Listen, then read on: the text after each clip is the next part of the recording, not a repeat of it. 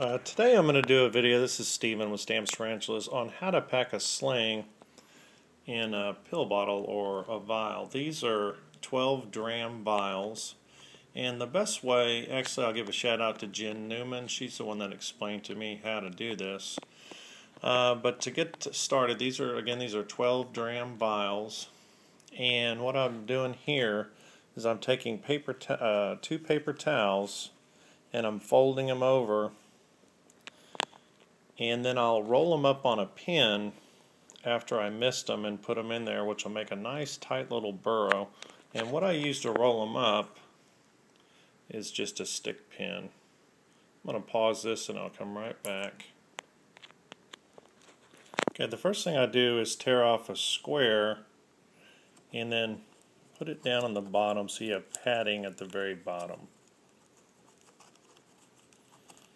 And I have moistened that with a little bit of water. It keeps them moist, but it's also easier to get it down into the bottom. You see you have a nice little cushion right there on the end. Okay, next what I've done here is I've rolled up a paper towel around a pin. And what I'll do is I'll mist that and I'll fit that right down in here. But since I only have one hand, I'm going to have to pause this again and I'll get right back to you.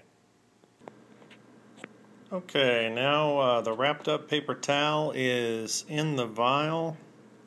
I've misted it so it's nice and moist. I have this little piece right here so when I'm finished I can cover it up. I have the lid, I have the name on it because I'm sending out tons of spiderlings this morning and what I do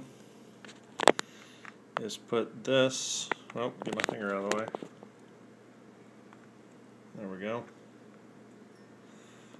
put this um, funnel in there and I work that down into it and then I lay the funnel down and then I herd the little guy right in there and he goes straight down in there. Be right back. Okay, you can see I have the funnel ready to go. I like this funnel because it has a little tab right here to keep it from moving. And what I do is I have some acrylic right here just because they're, some of them are so small I don't want them getting into any cracks and crevices. I will take this Chaco uh, G Pulchripes and then put it right in through here and then I use this little paintbrush to make it go in here. It goes in there, then I turn it up, and then they go all the way down. Alright, let's see here. Come on, little guy.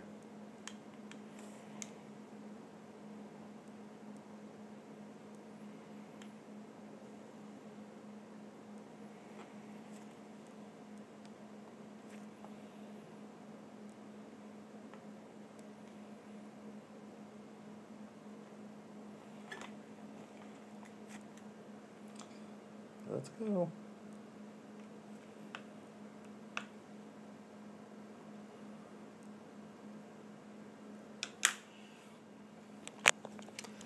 And as you can see, he went all the way down in there. And I don't know if you can see it in there, but now he's all the way down there at the bottom. So next, just put this little deal right here.